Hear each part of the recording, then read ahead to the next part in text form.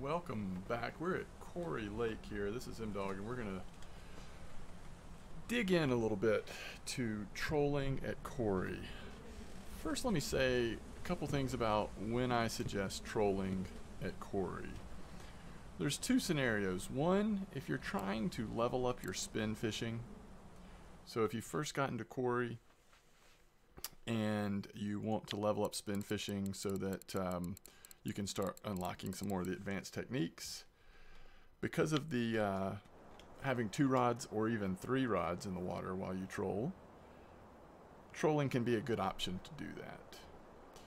The other reason why I might troll at Kuori is if I'm just not on a good spot for fishing otherwise. So the reverse of that would be if I do know of a good spot to anchor up the boat or even cast from the shore and catch consistently good fish, then normally I would choose to do that over trolling. But those spots change, they fade, there's times that they're just not as good. And in those cases, trolling for me is a great opportunity to get into different spots of the, of the lake that I don't normally fish in and catch fish that I might not normally have access to. So those are the two scenarios. Now, some people troll all the time. They just really enjoy it. Uh, that's not me in most cases, but um, there are people that will do it uh, as sort of their main go-to go-to move. The next thing I want to talk real quickly about is if you are just leveling up to Kuori and haven't already been doing a lot of spin fishing, what is the minimum gear or the recommended gear that I would say you want to start trolling with? Well, for me, when I first got here, uh, I trolled with two rods. A heavy, express fishing heavy, and a Siberia linear. You can see they're both going to be somewhere between 15 and 20 kilos according to which one you have in terms of load capacity. They're both good starter rods for trolling. Now, in terms of reels, I really do recommend at least one of your reels be something to the equivalent of a saber, so close to that 10 kilogram mark. Uh, for your second reel, initially you might be able to get away with having something a little lighter, maybe even a 7.5 reel, but it is going to be difficult with some of the larger fish species in Kuori to consistently get those in. Now, one thing you have going for you is you're going to be in a boat so you may be able to chase them a little bit, tire them out, use your uh, net, and get them in the boat. Lots of people have trolled this lake successfully with 7.5 reels. It can be an uncomfortable experience. I do recommend you at least have one reel that is equal to or greater than a Saber. Saber 60, preferably. Okay, so another basic part of trolling is I need to get moving as it's we're going to lose daylight here, but um, you want to assign the two rods you're going to be trolling with to your one and two slot. So that means holding down U and dragging whatever rod it is into the spot you want. So I've got mine set up already. Now I did mention that some people use three rods while trolling. I have tried this. If the bites are slow, it might be something you want to try. If the bites are happening pretty quickly, I think having a third rod actually just gets in the way. I will show you how to do the three rod setup, um, but that's not going to be what we're primarily doing. Now, one thing that I learned that has been very helpful for me with trolling is this idea. Instead of throwing, so normally when you first start trolling, a lot of people, including me, would throw about 50% behind them Instead of doing that, cast in front of you. Cast into a hole that you're going to be driving over. Still 50, 60%. Always make sure you lock it so that you don't get spooled. I like to have my friction brake around 20 or so. And then you put it in the holder by whatever hotkey you have. For me, that's still zero. Pick up your other one. Again, same thing. Throw it towards a hole you're going to be going after. Lock it, Make sure your friction brake's okay. Not too high, but not too low either. Put it down. And then, as long as your motor's running, you hit J and you start trolling. Now the reason why we do that, we throw the lures ahead of us into holes because those hunter lures that we're using are so good that they will often catch fish on their way down. This one already has a fish on it and we haven't even caught up to it yet. Now when you're catching a fish, if it's small, don't stop the don't stop the engine. You just want to keep moving. Pull that fish in, caught a lake trout, throw it again.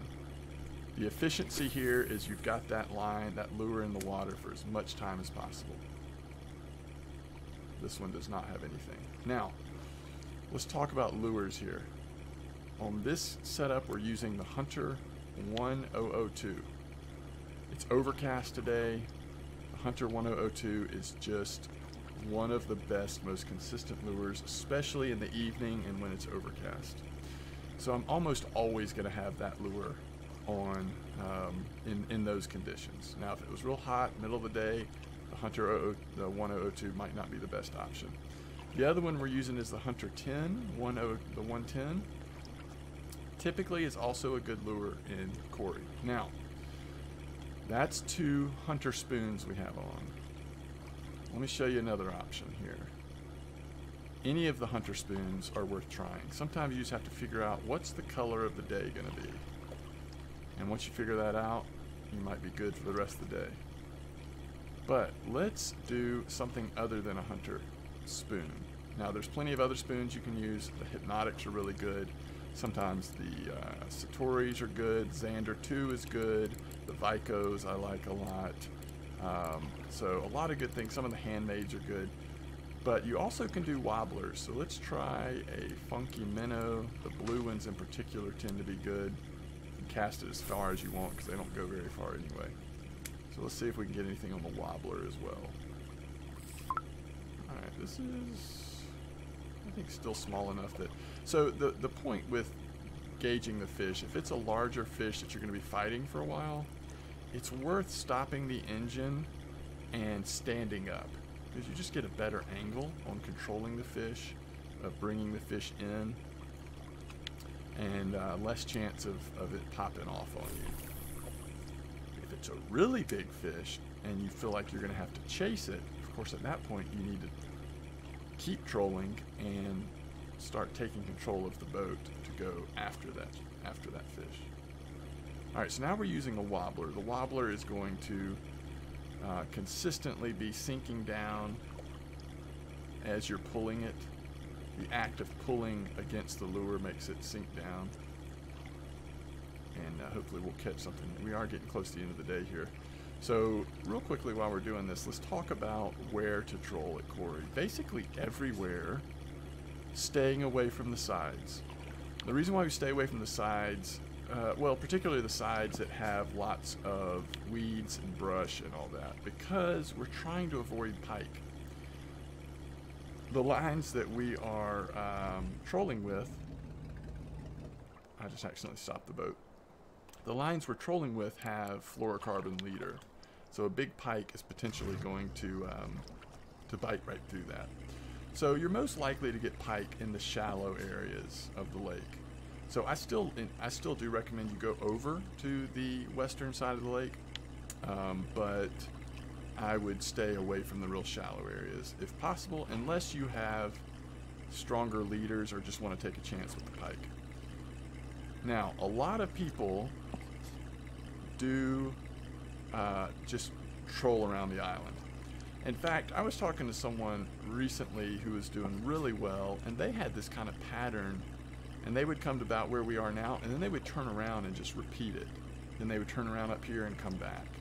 Other people will just full circle the island. I typically will full circle the island and then head out to this side. This 12 meter hole over here, you catch some good fish over here. And just kind of, so you still circle this side, but you try to stay in more of the deep areas and then come back to the hole and then just kind of, and, and really there's no, don't lock yourself into a certain route. You'll catch fish in surprising areas when you're trolling. And that's part of the point of trolling, right? Is to try to get some of the spots that you don't normally, that you don't normally see. So at this point, I would um, I would definitely change things up if I was just out here fishing myself because we're not getting very many bites. It could be that Kuori is just a little slow right now. What would be something else good to put on in the evening? Let's try a hypnotic. Uh, let's try the orange one just to see what happens here. Again, we're going to throw it in front of us and lock it up. Yeah, we're not getting very many bites. But this is what you want to do. So we have a, while we have a, a second here, let me show you what it looks like to troll with three rods. So let's say trolling has been pretty slow. You're not getting many bites. You actually, so the, the trick is going to be with your third rod, you're going to have to hold it. So you want to throw it out there and turn your retrieval speed all the way up. Um, and you're just going to be holding the third rod. Now, what this means, and why I said before if you have lots of bites, it's not as efficient, is you have no rod holder. In the current game, with the way boats work, you can't set this rod down. So if you catch a fish on one of your other rods, then you're going to have to actually reel this one in, put it away, and then grasp your other fish. So that's why I suggest, for the most part, just fishing with two. Uh, unless again it's slow like this. Sometimes I'll have a couple of spoons out, and then on the third one I'll put a wobbler or something to go down more consistently, go down deeper. The other thing I would say, if you're not getting bites, um, speed up, slow down, start and stop. Those hunter spoons especially will drop to the bottom as you uh, slow as you stop, and so get a little speed, see if a fish that you know likes a little faster retrieval will uh, will come after it, and then um, go ahead and stop completely. Let it sink a little bit, and then go again. I think that's a good way to go. I just saw there's going to be a competition tonight at Kuori, so it might be um, might be a good thing that we're here we might just stay and do that comp after this video. So now it's getting late. What most of us do, and this is just sort of a strategy about trolling, if you are, because um, a lot of the bites you'll get trolling will be in the morning, and then during the day off and on. I feel like at night it's usually okay until about midnight or 1 a.m. But at this point, with Kuori being this slow, what what I would typically do now is reel in the rods because again we don't want to get into the shallow water with these reel them in and actually put them away. And then go fish for burbot overnight. Trolling is pretty slow once you get past 1 a.m and so if you have the ability to do feeder fishing then fishing for burbot overnight is in most cases going to be much more efficient than um, continuing to troll through the through the midnight overnight hours. I think on average, when I've trolled through the night, even if it's been a pretty decent day trolling, I may only get one or two fish uh, that evening or overnight hours. And burbot can be so good sometimes that it's usually worth. So, you know, you kind of just need to have that in mind if you're going to be doing that. Have some feeders ready, already set up with fish pieces so you can quickly transition um, to fishing for burbot.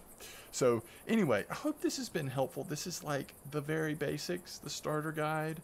Um, you didn't get to catch a lot of fish out there trolling, but hopefully you at least got a sense of how we go about doing it.